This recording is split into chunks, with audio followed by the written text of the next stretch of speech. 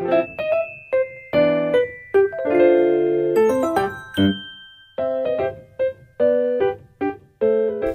guys! So our Oppa is turning one and he is fully grown, thriving, and healthy as can be.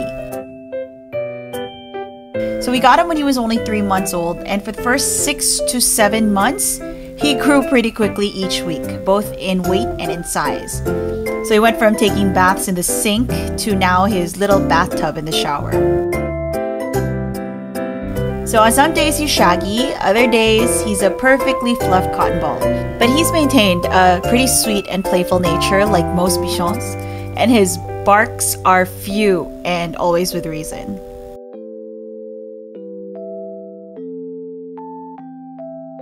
If we're busy in our rooms, you'll find him just quietly waiting outside of our doors, hoping one of us will come out soon.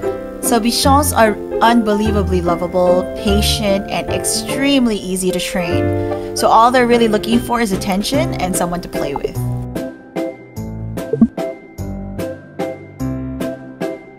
We've gotten a lot of questions over the past few months asking for tips to care for the bichons and updates on whether choosing a mini-sized one was a good decision.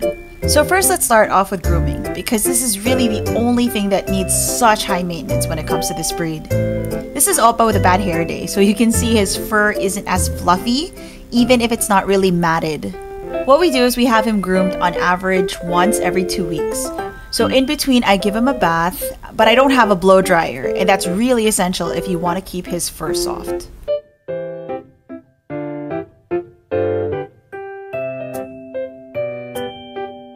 As for his cage, he rarely uses it because he's pretty behaved around the house. But we have a 3x2 modular set that we bought very cheap from Shopee. It's perfect because it's collapsible, then you can adjust his drinking bottle to the right height.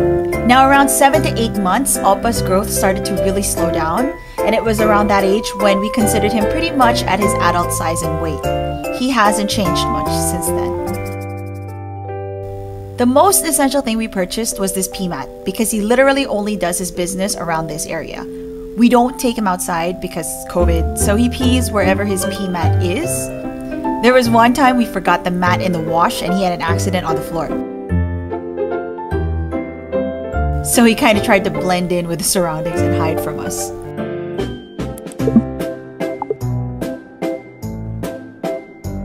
But again, he's a purely inside house dog for now and he's never touched pavement, which is probably why it's easy to keep him clean and from eating anything that could make him sick. Oppa loves soft toys though. He hates rubbery hard ones, so since he chewed through all our fluffy slippers, we just gave him his own and a knotted rope that he also really loves.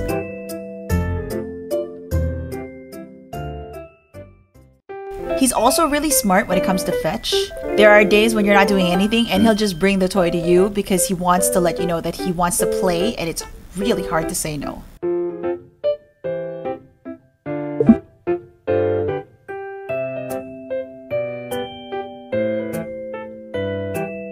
You'll notice how he just stays at the entrance of the kitchen because he knows he's not allowed inside at any time.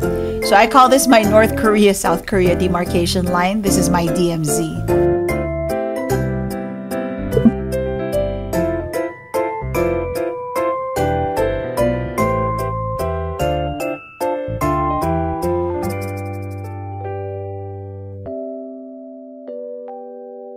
Okay, let's talk about the other important things to buy to care for your bichon. Obviously, diaper pads for the pee mat are a must buy.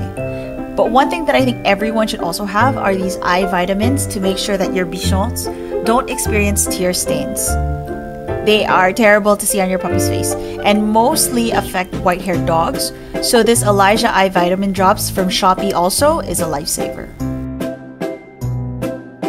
Every day, Oppa takes these Nutrigen multi-purpose vitamins, and then we feed him ANF organic kibbles in lamb, turkey, and soft salmon pieces. We've stuck to this brand because it doesn't make his poop smell. The consistency is easy to pick up, and it's not soft or watery. Now, the type of dog food can also affect his fur, and so far, this has been great for his coat. We fill his bowl to just enough to cover the bottom and feed him three times a day. Don't overfeed your bichon. So I think the recommended amount is about one cup of kibble a day plus treats. We try not to give him too much table food, but he really loves bread and potato chips.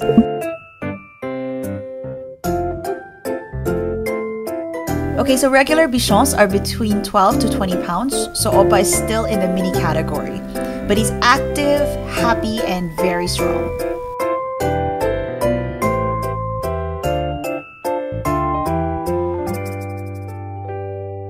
And that's it. So we hope this has been helpful for anyone curious about our mini Korean bichon.